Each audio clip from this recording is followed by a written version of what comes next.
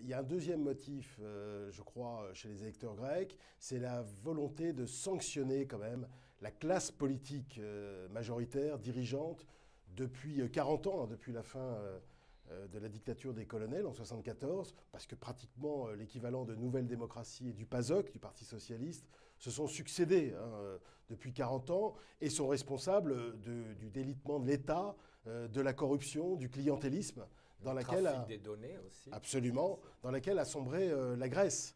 Et ils ont voulu donc se choisir un homme neuf, une formation neuve, entre, entre guillemets.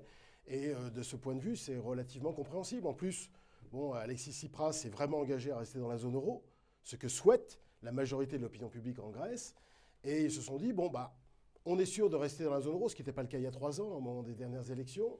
Et d'un autre côté, on sait qu'Alexis Tsipras aura probablement plus de moyens de renégocier les remboursements de dettes que son prédécesseur. Et donc, de ce point de vue, du point de vue du rendement risque, si je pouvais euh, faire une analogie euh, au comportement des, investisseurs sur les marchés de capitaux, j'ai envie de dire que le, choix d'Alexis Tsipras est, logique. Il y a une leçon pour la classe politique française aussi. Hein, c'est qu'à travers le vote du Front National, c'est qu'une partie des électeurs a avant tout, et d'ailleurs on le voit bien hein, dans les sondages, le, le, motif principal des électeurs du Front National, c'est pas de sortir de la zone euro c'est de, plutôt de sanctionner la classe politique française qui se succède depuis 35 ans avec les résultats qu'on sait. 60 milliards euh, d'euros par mois, ça nous fait à peu près, à horizon octobre 2016, 1140 euh, milliards euh, d'euros. Je ne vais pas trop rentrer dans la technique, mais il faudrait ajouter probablement aussi l'impact des TLTRO nets qui vont s'ajouter à cette augmentation du bilan.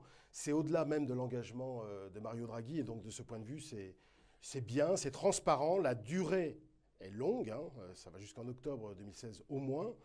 Euh, les actifs concernés sont très très larges. Ça va au-delà des attentes du marché, donc euh, la BCE a plutôt bien joué de ce point de vue. Les, difficultés avaient commencé avant la chute du prix du baril, hein, puisque évidemment il y a eu un gel d'investissements étrangers, difficultés pour les grandes entreprises d'émettre en dollars, chute du rouble et montée de l'inflation. Donc il y avait déjà des problèmes, mais alors évidemment la chute du prix du baril, ramène en fait la Russie à, ce qu'elle est, à sa réalité. C'est-à-dire que cette année, ils vont être en dépression de l'ordre de euh, moins 5% à peu près pour le PIB en volume. C'est quelque chose qui ne leur était pas arrivé depuis la fin des années 90. Et donc ça veut dire que sans le pétrole, qu'est-ce qui est capable de faire, de fournir la Russie? Eh bien, On est euh, tous en train de s'apercevoir que la Russie, en réalité, depuis 25 ans, elle a plutôt régressé. Sur le plan démographique, non, elle, elle est encore moins diversifiée qu'il y a 25 ans. Les médias euh, rapportent une grande partie de l'information qui leur vient des intermédiaires, d'une information dite gratuite, qui est tout sauf gratuite en fait. Hein. Voilà. Celle des banques, celle des intermédiaires euh, de marché, et qui euh, sont là pour faire du business. Et donc ils ont tendance à rapporter une, une information, une analyse qui se veut objective, mais en fait qui, qui n'est pas. On peut prendre un exemple concret de, ce travers, de ce biais bon, Pratiquement tous les jours. Alors donc, vous savez, il n'y a aucun problème. Sur quoi? Sur l'assurance vie, sur l'immobilier Sur, sur euh, l'immobilier, c'est évident. Sur l'immobilier, euh, le réflexe traditionnel, mais qui est un réflexe naturel, hein, je ne le critique pas, mais le réflexe traditionnel, hein. c'est de demander euh, à un professionnel de l'immobilier comment va évoluer le marché de l'immobilier? Il est bien évident que son intérêt à lui, c'est que le marché immobilier se porte bien alors que depuis trois ans, il ne se porte pas bien. mais pratiquement toutes les couvertures de presse également euh, annoncent euh, qu'il faut euh, toujours acheter, que le marché baisse, qu'il monte, il faut pratiquement toujours acheter. C'est presque caricatural. Surtout pour un ancien fonctionnaire comme moi, ce n'était pas en soi évident. Lorsque j'étais jeune adjoint de direction à la Banque de France, je ne pensais pas qu'un jour je rachèterais une société et je serais directement responsable sur le plan individuel. Qu'est-ce que vous avez appris de cette expérience? De mon expérience comme chef d'entreprise?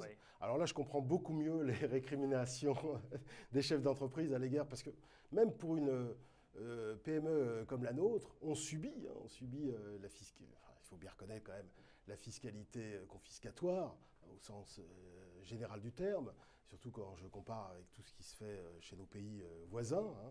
Hein. surtout que nous, on n'a pas les moyens d'optimiser. Hein, on fait quand même une grande partie de notre activité, l'essentiel de notre activité en, en France. Euh, et puis euh, la réglementation, euh, voilà, l'ensemble des contraintes quotidiennes qui se posent à un chef d'entreprise.